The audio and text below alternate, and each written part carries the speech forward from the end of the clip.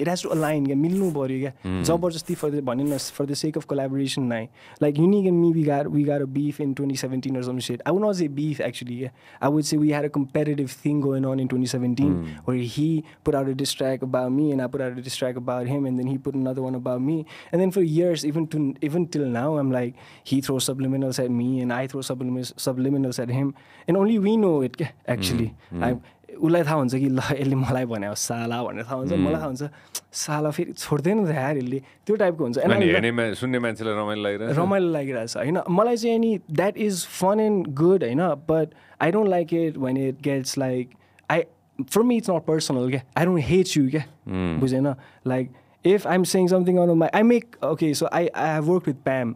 in in the past in the past in like कति कतिदेखि two thousand seventeen eighteen I work with her I still make fun of her in, in, in my songs, but it's not because I hate her.